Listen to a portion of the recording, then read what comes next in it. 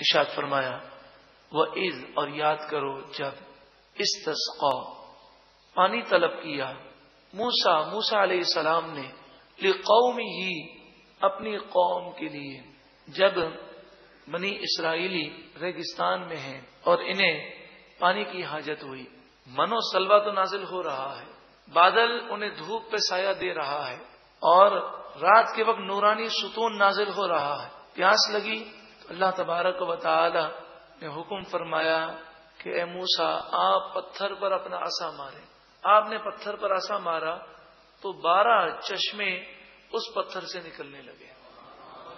وہ عید اور جب استسقا موسا علیہ السلام نے پانی طلب کیا قوم ہی اپنی قوم کے لیے۔ فقل نہ بس ہم نے فرمایا اد رب آپ ماریے۔ اد رب آپ ماریے۔ ادرب کے مانا مارنا۔ آپ ماریے۔ بھی اصاکل حجر اصا مانے لاٹھی، حجر مانے پتھر۔ اپنی لاٹھی پتھر پر ماریے۔ فن فجرت۔ پس بہ نکلے۔ مین اس پتھر سے۔ اس نتا اشرتا آئی نن اس نتا مانے دو اشرتا مانے دس۔ دو اور دس، بارہ۔ بارہ آئینہ چشمے۔ بارہ چشمے بہ نکلے۔ قد بے شک۔ علیما کل اناسم مشرب ہر گروہ نے اپنے پینے کی جگہ کو پہچان لیا۔ یعنی جھگڑا نہیں ہوا۔ اس چشمے سے میں پیوں گا، اس چشمے سے ہم پیئیں گے۔ ایسا کوئی معاملہ نہیں ہوا، بلکہ بارہ قبیلے تھے۔ ہر ایک کے دل میں اللہ تعالیٰ نے یہ بات ڈال دی کہ یہ چشمہ تمہارے لیے ہے، وہ چشمہ اس کے لیے ہے۔ قد قداری مکل اناسم مشرب مشرب کہتے ہیں پینے کی جگہ۔ ہر گروہ نے پینے کی جگہ کو پہچان لیا۔ کلو کھاؤ وشربو اور پیو۔ مر رزق اللہ اللہ کی دی ہوئی روزی سے۔ ولا تا فل ارد مفسدین۔ اور زمین میں فساد کرتے ہوئے نہ پھرو۔ گنا مت کرو، فساد نہ کرو۔ نعمت کا بیان بھی ہے اور انہیں نصیحت بھی ہے۔ اب ان کی ناشکری کا ذکر ہے۔ لیکن اس سے پہلے عرض کروں کہ تمام انبیاء علیہ مسلاط وسلام کی شان بہت بلند و بالا ہے۔ لیکن سعید الانبیاء صلی اللہ علیہ وآلہ وسلم تو تمام نبیوں کے سردار ہیں۔ جو جو معجزات اللہ تعالی نے نبیوں کو عطا فرمائے، وہ تمام معجزات بلکہ ان سے بڑھ کر معجزات میرے آقا صلی اللہ علیہ وآلہ وسلم کو عطا فرمائے۔ تو پتھر سے پانی کا نکلنا عظیم الشان معجزہ ہے، لیکن انگلی سے پانی کا نکلنا یہ اس سے بڑا معجزہ ہے۔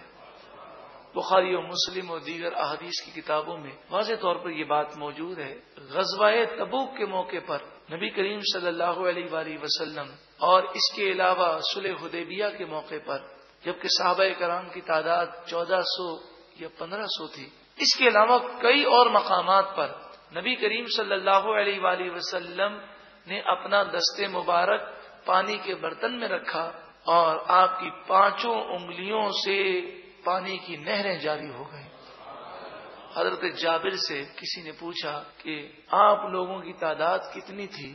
تو حضرت جابر نے سلح حدیبیہ کے موقع پر جو تعداد تھی اس کا ذکر کیا اور فرمایا، ہماری تعداد تو صرف پندرہ سو تھی، مگر پانی اس قدر کثرت سے تھا، اگر لاکھ بھی ہوتے تو یہ پانی کافی تھا۔ اگر آپ ایسے کئی واقعات اور حضور کی شان اور اللہ تعالیٰ نے حضور کو جو مقام دیا، اس کی تفصیل پڑھنا چاہیں تو حضرت علامہ مولانا شفیع اوکاڑوی رحمت اللہ تعالی علیہ کی کتاب ذکر جمیل کا مطالعہ فرمائیے۔ ذکر جمیل۔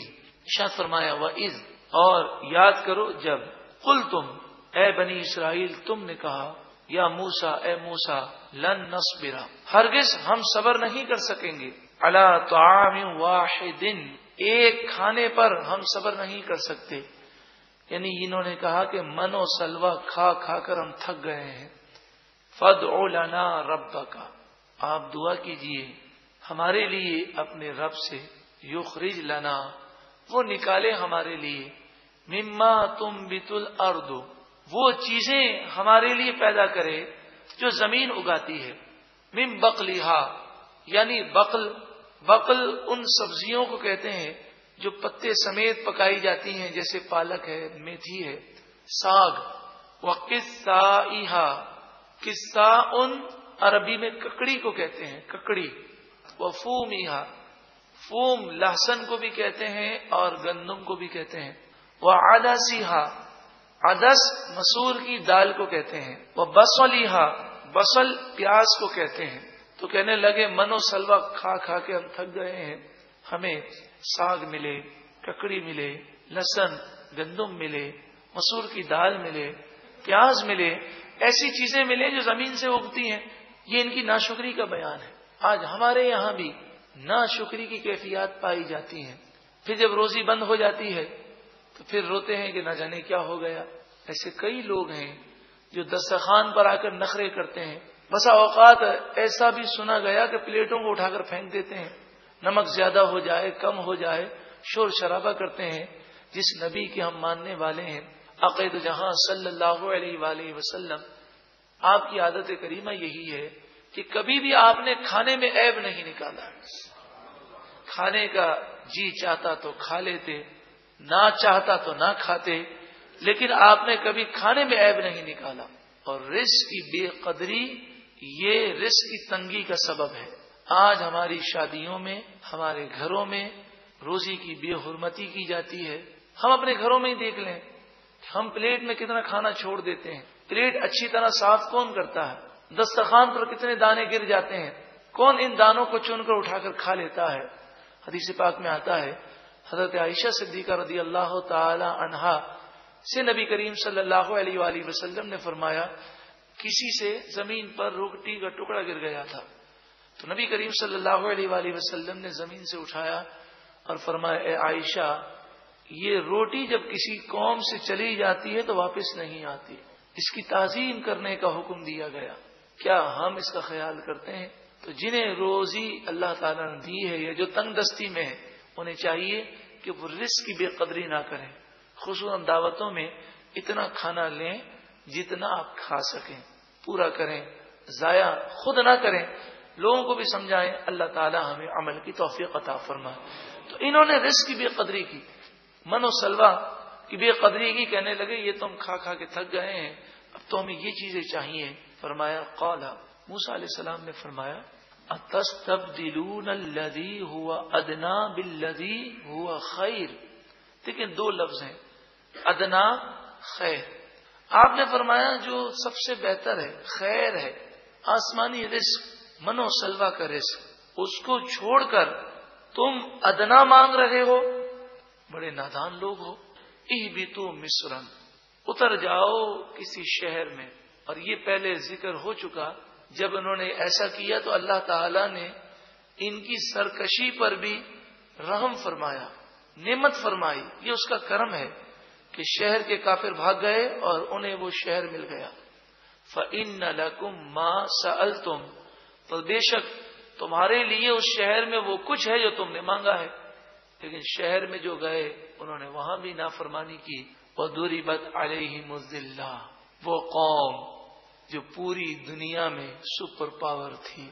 وہ قوم جس میں سب سے زیادہ نبی مبوس کیے گئے۔ وہ قوم جس نے سینکڑوں سال تک دنیا پر حکومتیں کی ہیں، لیکن جب اس نے اللہ کی نافرمانی کی، تو اللہ تعالی نے ان سے مقام و مرتبے کو لے لیا اور وہ ذلیل و رسوا ہو گئے۔ وہ دوری بد علیہ مزلہ ان پر ڈال دی گئی ذلت۔ والمسکنہ اور غربت، تنگ دستی، ناداری۔ مفسرین فرماتے ہیں، امت محمدیہ صلی اللہ علیہ وآلہ وسلم کو نصیحت ہے ہم بھی مسلمان کہلاتے ہیں۔ بنی اسرائیلی بھی مسلمان کہلاتے تھے۔ وہ بھی کلمہ پڑھتے، وہ بھی اللہ کو مانتے، وہ بھی رسول کو مانتے۔ ہم بھی تمام رسولوں کو مانتے ہیں۔ لیکن جب انہوں نے مسلسل نعمتوں کے باوجود نافرمانیاں ہی نافرمانیاں کی اللہ تعالی ناراض ہو گیا اور وہ ذلیل اور رسوا ہو گئے۔ مسلمانوں کا عروج دیکھیں۔ مسلمان تین سو تیرہ تھے بدر کے مقام پر۔ چاروں طرف پوری دنیا میں کافر تھے۔ عروج ملتا رہا، عروج ملتا رہا۔ یہاں تک کہ مسلمان پوری دنیا کی دنیاوی اعتبار سے سپر پاور بن گئے۔ مگر پھر گناہوں میں پڑ گئے۔ اور گناہوں میں پڑتے رہے۔ آخرکار وہ وقت آیا کہ آج ہم اتنے سارے ہونے کے باوجود ذلیل اور رسوا ہیں، پریشانیاں ہیں، دشمن حاوی ہوتا جا رہا ہے۔ قرآن و حدیث سے وابستہ ہوں گے۔ تو انشاءاللہ پھر کھویا ہوا وقار نصیب ہو جائے گا۔ وبا اور وہ مستحق ہو گئے۔ غدب من اللہ اللہ کے غضب کے مستحق ہو گئے۔ یعنی اللہ تعالی نے غضب فرمایا ان کے کرتوتوں کی وجہ سے۔ ذالک بھی ان کانو یک فرون بھی آیات اللہ۔ یہ اس وجہ سے کہ وہ اللہ کی آیتوں کا انکار کیا کرتے تھے۔ وہ یکلون نبی نبی الحق۔ اور ناحق انبیاء کو شہید کیا کرتے تھے۔ یہ قوم اتنی سرکش ہو گئی کہ نیکی کی کوئی دعوت دیتا تو اسے وہ مارنے کے لیے کھڑے ہو جاتے۔ یہاں تک کہ انبیاء نے جب انہیں راہ ہدایت کی بات کہی تو انہوں نے انبیاء کو شہید کیا۔ حضرت زکریہ علیہ السلام کو اسی قوم نے شہید کیا۔ حضرت یاہیا علیہ السلام کو اس قوم نے شہید کیا، بلکہ ایک تفسیر میں تو یہ لکھا کہ بنی اسرائیل میں انبیاء کی کثرت تھی۔ ہر شہر میں بسا اوقات الگ الگ نبی ہوتے۔ تو یہ لوگ ایک دن اٹھے صبح کے وقت۔ انہوں نے کہا کہ تمام انبیاء کو نعوذ باللہ میں ذالک ہمیں شہید کرنا ہے۔ روایت میں آتا ہے، تفسیر میں مفسر فرماتے ہیں کہ انہوں نے ایک دن میں فورٹی تھری تینتالیس انبیاء کو شہید کر دیا۔ اور پھر مبلغین کھڑے ہوئے، انہوں نے انہیں سمجھایا کہ تم نے کیا کیا؟ تو ایک سو بیس تقریباً مبلغین کو شام کو انہوں نے شہید کر دیا۔ یہ نہ خود اچھا عمل کرتے تھے اور نہ ہی کوئی اچھی بات کی دعوت دے تو اسے پسند کرتے تھے۔ دالی کا بیما آسو یہ ذلت رسوائی اس وجہ سے ہے کہ انہوں نے اصو نافرمانی کی۔ وہ کانو یا اور وہ حد سے بڑا کرتے تھے۔